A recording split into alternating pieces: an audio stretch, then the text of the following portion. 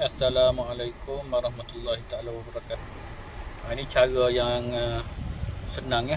Kalau kita nak parking KL Convention Center uh, yang kita tak nak uh, melalui ni. Ha, ni bangunan ni bangunan Menara Felda eh, dekat persiaran KLCC Jalan Stonor. Ha, kita boleh tengok sini Jalan Stonor. Ha, ni. Ha, ni cara dia. Okey.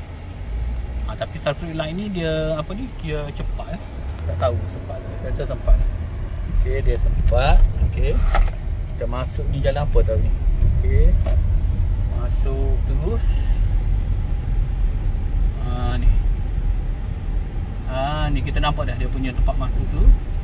Yang memang tersembunyi lah. Tersembunyi tempat masuk.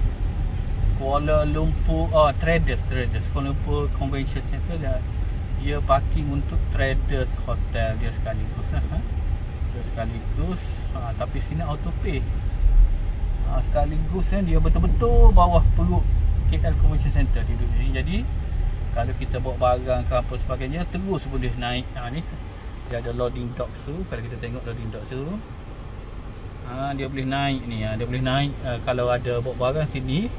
Dan kalau kita nak uh, parking yang biasa uh, tapi parking dia rate ha, tengok ni rate uh, traders lah rate traders hotel tapi berbaloi lah parking sini tak perlu jalan kaki. Terima kasih